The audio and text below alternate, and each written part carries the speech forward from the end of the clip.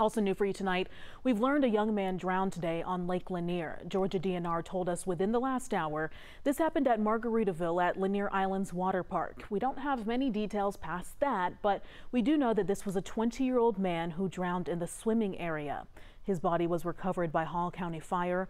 Police haven't told us his name yet, but they say they're going to release that name once the family has been given proper notification.